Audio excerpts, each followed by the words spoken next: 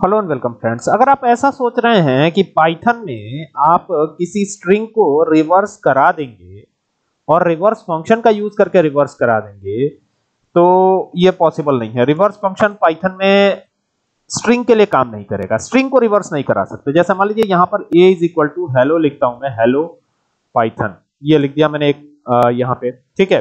और अब अगर मैं चाहता हूँ कि इसको प्रिंट करवाऊं और यहाँ पे रिवर्स फ़ंक्शन यूज़ कर लूँ तो ये रिवर्स नहीं करेगा। ये देखिए, यहाँ पे ए अगर लगा देता हूँ तो ये देखिए, जब मैं इसे सेव करता हूँ तो आप देखेंगे कि ये रिवर्स होगा ही नहीं। तो यहाँ पे देखिए, ये एरर आ जाएगा तुरंत। कह रहा रिवर्स इज़ नॉट डिफाइंड ठीक है? यानी रिवर्स आप कह रहे हैं कि क्या आप रिवर्स्ड कहना चाहते हैं? तो अगर आप रिवर्स्ड भी लगा दें तो यहाँ पे देखिए, ये रिवर्स्ड लगा दिया। तो रिवर्स लगाने पे भी ये रिवर्स तो नहीं कर रहा है। ठीक है हालाँकि रिवर्स काम कर रहा है लेकिन रिवर्स तो नहीं कर रहा है इसे। तो ऐसे में स्ट्रिंग के लिए रिवर्स यूज़ नहीं होगा ठीक है? तो क्या करेंगे कैसे इसको रिवर्स करा सकते हैं? सवाल यही है कि इसको रिवर्स कराएँ तो कैसे कराएँ ठीक है?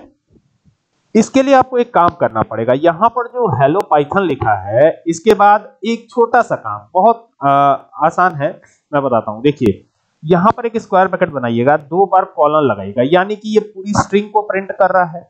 दो बार कॉलन लगाने का मतलब ये पूरी स्ट्रिंग को प्रिंट कर कॉलन लगा के इस तरीके से माइनस वन लिख देना और अब यहाँ पे प्रिंट करवा देना है किसको? ए को। ए में ही ये वैल्यू स्टोर है। तो ए को प्रिंट करवा दिया फाइव करेंगे। तो देखिए ये पूरा का पूरा रिवर्स हो चुका है। देखिए दोनों ही रिवर्स हुए हैं।